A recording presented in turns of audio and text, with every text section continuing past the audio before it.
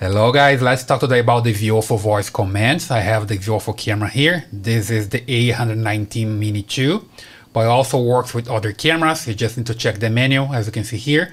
There's the information for the voice command. So you need to follow the logic. If it's there on, you need to turn it then off and vice versa, right? So let's work the way. Take photo. Video stop.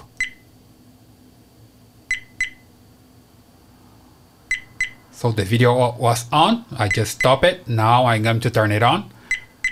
Video start. Recording started. Turn on audio. Voice recording enabled. Turn off audio. Voice recording disabled. Turn off screen. Turn on screen. Turn on Wi-Fi. Wi-Fi enabled. For Wi-Fi, I need to wait for a little bit. Recording started. So the camera start recording again. When turn on Wi-Fi, let's turn it off. Disabled.